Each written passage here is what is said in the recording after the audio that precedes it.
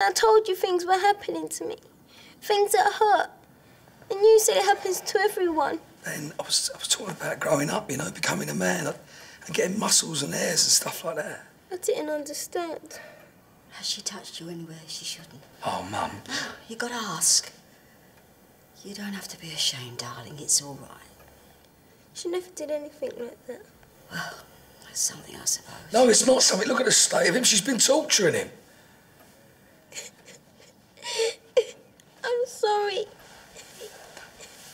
Say that, mate.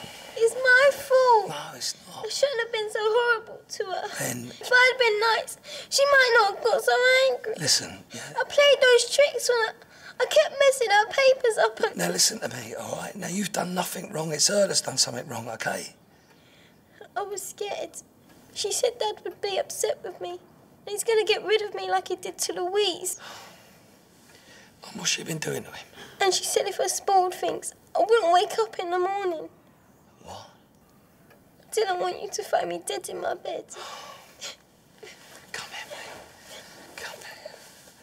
No, it's all right. It's all right. You ain't, you ain't never going to see her again, I promise you. I love you.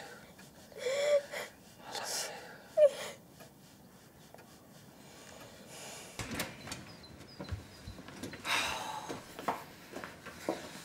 I can't believe I let this happen. I mean, I let this happen in my own house.